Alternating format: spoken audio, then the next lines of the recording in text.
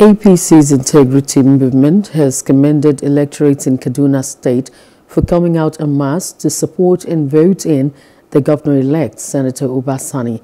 Convener of the group, however, called for the promotion of good governance, democratic values, while encouraging continuity for sustainable political development and economic growth in the state.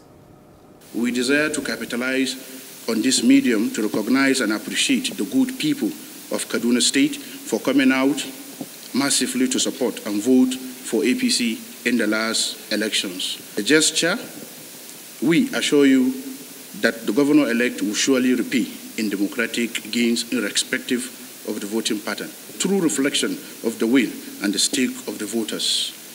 Knowing his antecedent fully as one of the most active productive and articulate representative of his people. Seven to nine political parties have registered their names. Have registered their support to Malam Uba Sani. They accepted the outcome of the election, which they have signed on their peace uh, accord. accord that whoever emerges as the winner, they will support him to keep developing Kaduna to the uh, global standard. The other parties have visited uh, Malam Uba Sani to the general public, you are all aware the, uh, everyone in Kaduna State and the world in general have witnessed it, it's only single party that are doing uh, all these shenanigans for just political mischievous.